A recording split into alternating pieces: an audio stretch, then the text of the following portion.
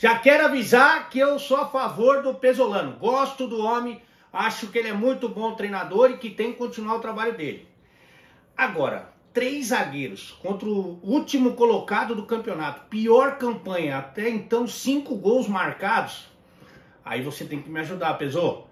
Porque o Cruzeiro tem alguns bons jogadores, fundamentalmente do meio para frente. E aí, quando você precisa de criação, você precisa de gols, você precisa produzir ofensivamente, você deixa no banco, por exemplo, o Wesley e o Nicão. O Nicão tá voltando de contusão, mas é o principal criador desse meio campo.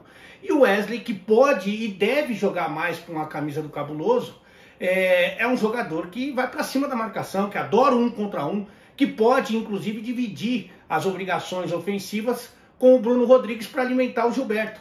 Mas não, ele preferiu sair jogando com três zagueiros e ainda tomou um gol de bola parada pelo alto com os três zagueiros. Então, pesou, me ajuda, vai.